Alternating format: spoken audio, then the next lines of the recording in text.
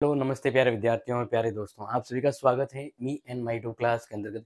यहाँ पर B A third year वालों के लिए, यानी बी ए फाइनल ईयर वालों के लिए मैं सिलेबस बताने वाला हूँ पॉलिटिकल साइंस हिस्ट्री और ज्योग्राफी तीनों के सिलेबस इस एक ही वीडियो में आपको बताने वाला हूँ और इस साल के, क्योंकि आप सभी की डिमांड थी कि सर हमारा सिलेबस मिल नहीं रहा है, मिल रहा है तो पता नहीं कहाँ है तो मैं सोचा एक वीडियो में आपको डेडिकेटेड सिलेबस ही दे दूँ दोनों पेपर का, ठीक है? तो देखिए, फटाफट से देखते हैं। पहला पेपर हम बात करते हैं पॉलिटिकल साइंस ये जो पेपर है, यहाँ पर जो मैं आपको बता रहा हूँ, ये पेपर है पॉलिटिकल साइंस का। कौन सा है? पॉलिटिकल साइंस का है, इसलिए नोट कर लीजिएगा, क्योंकि यहाँ पर जो इम्पोर्टेंट आपको बता रहा हूँ, वो चीज़ आपको फोकस करना है, क्लियर? उस चीज़ पर आपको फोकस करना है। तो जैसे कि आप सभी को पता है, ये जो है वो आपके एग्ज़ाम में ज़रूर पूछा जाएगा, इसलिए इसको ध्यान रखना। ये अपने पॉलिटिकल साइंस का सिलेबस है। अब पॉलिटिकल साइंस में जो एग्ज़ाम में जो आपके आएगा, वो चीज़ यहाँ पर देख लीजिएगा, जो मैं आपको समझा रहा हूँ, ठीक है? ये साइड टाइपिंग का थोड़ा एरर है। देखिए, यहाँ पर है जो आपको बता रहे हैं, वो सीधा नोट कर लीजिएगा कि प्रश्न पहला जो पेपर है, यानी पॉलिटिकल साइंस के थर्ड ईयर का जो पहला पेपर उसका नाम है अंतरराष्ट्रीय संबंध। क्या है? अंतरराष्ट्रीय संबंध है, इसके अंदर टोटल पाँच इकाई है एक, दो, तीन, चार, पाँच। इस पूरे स्क्रीनशॉट ले लीजिए, इस पूरे चैप्टर पूरे सिलेबस की जो क्लास है, वो रिकॉर्डेड है। नोट्स हमारे क्लासी सेट ऐप पर अवेलेबल है। नोट्स आपको हमारे क्लासी सेट ऐप पर मिल जाएँगे। और ये पूरी की पूरी निःशुल्क क्लास अपने यूट्यूब के प्लेलिस्ट में अवेलेबल है, ठीक है? तो ये था पहला प्रश्न पत्र जो यहाँ से आप देख सकते हैं, समझ सकते हैं या स्क्रीनशॉट ले सकते हैं। अगर थोड़ा डल दिखे तो क्लियरिटी को थोड़ा हाई करके यूट्यूब को इस वीडियो को, इस फ़ोटो को देख लीजिएगा। क्लियर समय अभाव के कारण पूरा नहीं पढ़ा पाएँगे, लेकिन ये पूरी अब क्लास जो है वो आपको मिल जाएगी। क्लियर इसी प्रकार से इसका पेपर जो टू है वो मैं आपको बता देता हूँ। पेपर टू है B A third year political science का लोक प्रशासन, कौन सा है? लोक प्रशासन, ये नोट कर लीजिएगा आपके एग्ज़ाम के लिए पॉलिटिकल साइंस सेकेंड पेपर ठीक है? जिसके अंदर वही पाँच यूनिट है। एक, दो, तीन, चार, पाँच। तो टोटल पाँच यूनिट है। इन पाँचों यूनिट के लेकर स्क्रीनशॉट ले लीजिएगा कि इस बार कौन सा सिलेबस है आपका। ये आपका सिलेबस है। और इसकी भी क्लासेज अपने उसी प्लेलिस्ट में आपको मिल जाएगी। ठीक है? नोट्स अपने क्लासेस सेट ऐप पर मिल जाएगी। ना मात्र, यानी 99 में दोनों के नोट्स आपको और विथ टेस्ट वगैरह कुछ इंपोर्टेंट है, वो भी मिल जाएगा। तो ये तो बता दिया पॉलिटिकल वाला, क्लियर?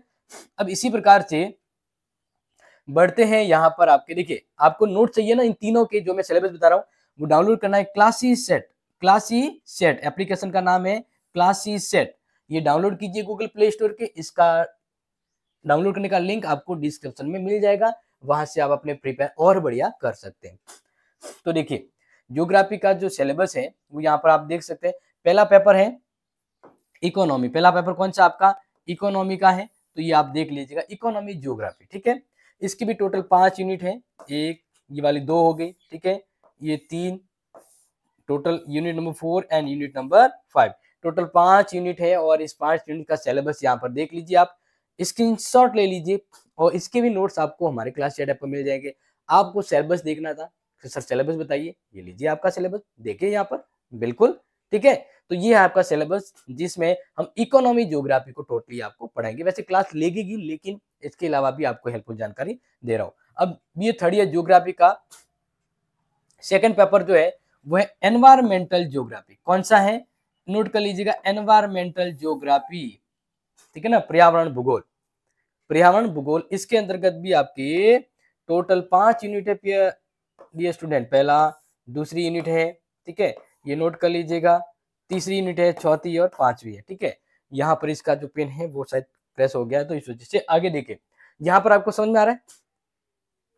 यही यूनिट आपके, इसी यूनिट का टोटल सिलेबस जो है टोटल कंप्लीट जो है, वो आपको हमारे क्लासेस सेटअप पर मिल जाएगा। बाकी सिलेबस आप देख लीजिए, ये सिलेबस इस बार एग्ज़ाम में रहने वाला है स्क्रीनशॉट लेके, या ऐसे जूम करके भी आप देख लेना, आपको थोड़ा नहीं दिख रहा हो तो हम जूम करके आपको दिखा रहे थे क्लियर चलो, अब आगे बात करते हैं हिस्ट्री का। हिस्ट्री यानी इतिहास, क्योंकि आप सभी कह रहे थे कि सर हमारे इतिहास का सिलेबस नहीं मिल रहा है। इतिहास का सिलेबस नहीं मिल रहा है तो मैंने कहा कोई बात नहीं, हम आपके इतिहास का सिलेबस बता देते हैं क्लियर तो ये आपका इतिहास का सिलेबस है।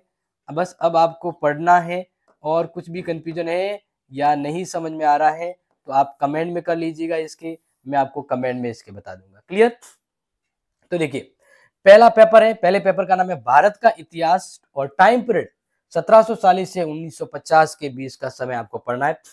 इसके अंतर्गत मैं थोड़ा आपको जूम छोटा करके बता देता हूँ। देखिए, पहली यूनिट है, अंग्रेज़ों के आगम के समय की स्थिति वगैरह, ये आप इसमें बक्सर युद्ध प्लासी। युद्ध और यही ये जो है ना फ़र्स्ट यूनिट मैं अभी फ़िलहाल थर्ड ईयर वालों को पढ़ा रहा हूँ मतलब थर्ड सेमेस्टर वालों को।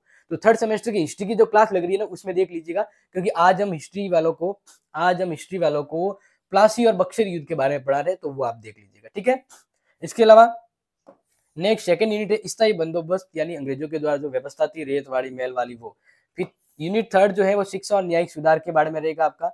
इकाई फोर जो है, राजनीतिक जागृति को लेकर उदारवादी, क्रांतिकारी आंदोलन वगैरह यूनिट फाइव को उन्नीस सौ उन्नीस का अधिनियम जो है, मार्च मीटो उन्नीस उन्नीस और पैंतीस का शासन अधिनियम, वो आपको पढ़ना है, ठीक है? तो ये हो गया आपका पेपर फ़र्स्ट इतिहास का। अब इतिहास का पेपर टू है, वो देख लीजिए सिलेबस। राजस्थान का इतिहास और संस्कृति, राजस्थान आर्ट्स एंड कल्चर, इसके नोट्स, दोनों के नोट्स आपको मिल जाएँगे हमारे क्लासेस ऐप पर, ठीक है? और क्लासेज भी आपके मिलेगी तो आप देख लीजिए, इसके भी पाँच यूनिट है स्क्रीन ले लीजिए। हाँ आप कह रहे थे ना स्क्रीन चलो स्क्रीन ले लीजिए। ठीक है? स्क्रीन ले लीजिए क्योंकि समय कम अभाव के कारण पूरा नहीं पढ़ा पाएँगे। बट आपको बता रहे हैं कि ये आपका सिलेबस रहने वाला है।